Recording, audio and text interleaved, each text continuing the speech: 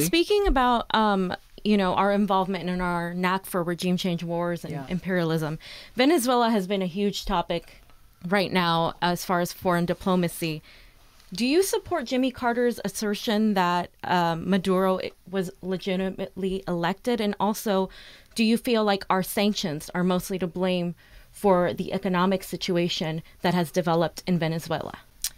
Um, I haven't heard uh, Jimmy Carter's statement. Um, I there have been a lot of uh, differing views on Maduro's election itself. Uh, he's the leader of that country. The United States needs to keep our hands off of what the Venezuelan people are currently going through right now, which is determining uh, what kind of leadership in future that they want for themselves. Right. That that that is ultimately the bottom line. Uh, I think there's no question that our sanctions have uh, certainly uh, played a role in exacerbating the, the humanitarian crisis that exists there and the hardship that the Venezuelan people uh, are dealing with. This is one of the problems with our sanctions regime overall.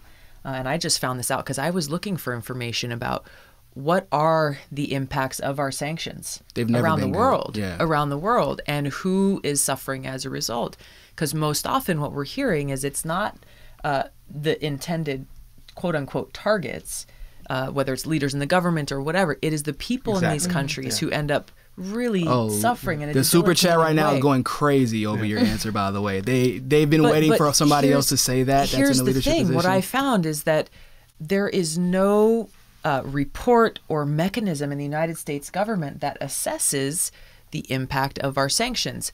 Are what was the what was the objective? Are they working?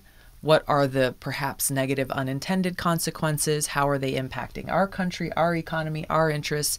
So I'm I'm literally working on a bill right now to uh, to introduce in Congress that would make this uh, assessment um, a regular thing, so that we leaders, we the people, can actually look.